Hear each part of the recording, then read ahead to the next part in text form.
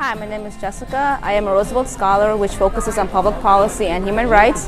I am majoring in economics and minoring in media studies and public policy. In our first year, we were able to go on a trip to Washington, D.C., where we were able to sit on during a Supreme Court case hearing and decide on the case. And afterwards, we were able to sit down and ask Justice Ruth Bader Ginsburg questions about her role in the Supreme Court, her opinions on many matters, and just be able to hear from someone who was who was such an accomplished judge.